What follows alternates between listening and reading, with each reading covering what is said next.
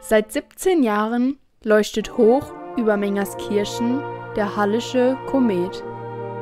Im Jahr 2014 hatten einige Sänger des MGV Freude, angetrieben von Willi Halle, die Idee, einen Kometen zu bauen und diesen über Mengerskirchen leuchten zu lassen.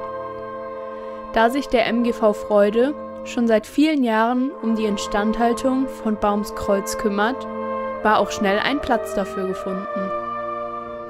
Dieses Kreuz aus Gusseisen wurde 1870-71 im Gedenken an zwei im Deutsch-Französischen Krieg gefallene Soldaten errichtet. So bauten dann einige Mitglieder unter Anleitung von Willi Halle, daher der Name des Sterns, diesen Kometen, der mit Leuchtmittel versehen seit 2014 nun im Advent bis zum Fest der Erscheinung des Herrn über Mengerskirchen leuchtet. In diesem Jahr wurde der Stern erneuert. Dies war nötig, da der alte in die Jahre gekommen war.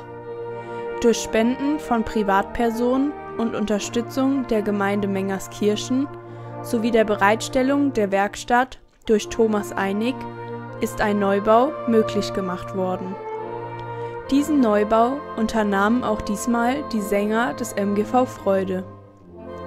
Nun erfreut auch in diesem Jahr wieder der Stern über Mengerskirchen uns alle. In all den Jahren ist bei Glühwein und vorweihnachtlicher Musik der Zimberg-Musikanten schnell adventliche Stimmung aufgekommen. Leider konnten diese Treffen unter dem Stern Corona-bedingt in den letzten beiden Jahren nicht stattfinden. Der MGV Freude hofft, dass im nächsten Jahr wieder Treffen unter dem Stern zusammen mit den Zimberg-Musikanten möglich sein werden. Ihnen allen noch eine schöne Adventszeit mit freudigen Erwartungen auf Weihnachten.